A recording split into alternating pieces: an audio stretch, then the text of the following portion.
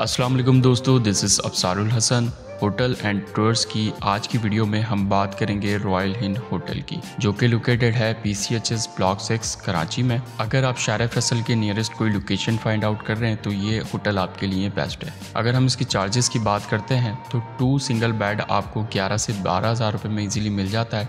Deluxe room इसके साथ बारह से तेरह हज़ार रुपये तक में इजीली आपको मिल जाएगा।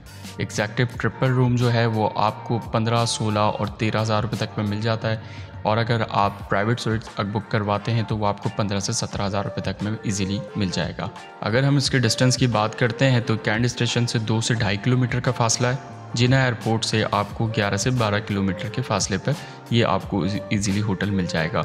इसकी फैसिलिटीज़ की बात करते हैं तो airport shuttle room service non smoking room free wifi free parking family room and breakfast बाकी तफसलत मैं वीडियो के डिस्क्रिप्शन में डाल दूँगा, अगर आप चाहें तो आप विज़िट कर सकते हैं। अगर आपको वीडियो अच्छी लगी तो काइंडली मेरी वीडियो को शेयर करें लाइक करें। इस तरह की और वीडियोस देखने के लिए मुझे कमेंट करके ज़रूर बताएँ, ताकि मैं आपको कराची शहर में और भी ज़्यादा होटल्स के रिव्यू शेयर कर सकूँ, ताकि आपके लिए आसानी पैदा हो। जब तक के लिए अपना बहुत ख्याल रखिएगा। थैंक यू सो मच अल्लाह हाफिज़।